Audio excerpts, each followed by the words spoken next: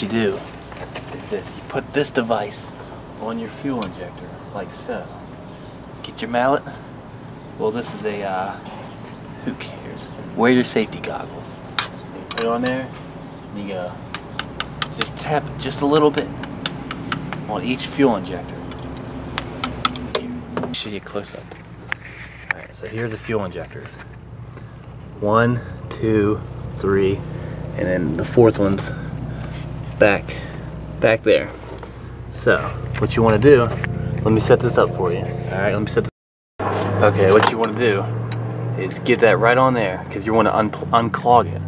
And you tap very easily. You tap that fuel injector and what you're doing is getting all the deposits and the carbon buildup out of the fuel injector and your car is going to be running smooth and clean afterwards. So just barely tap on it.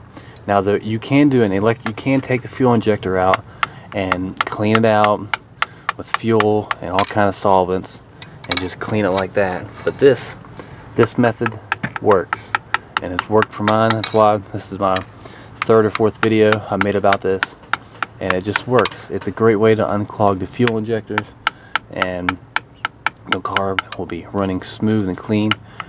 Individual people um, will uh, it'll differ between people, but for me it worked.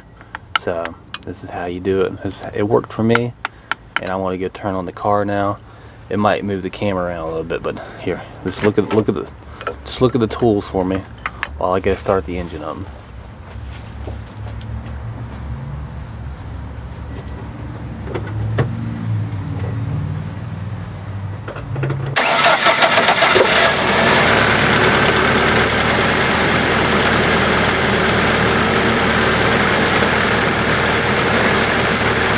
Okay.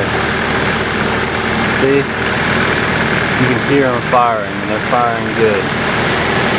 See?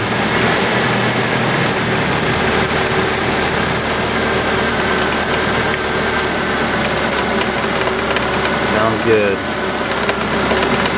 Sounds great. You do pull, and it works great. Pull right here.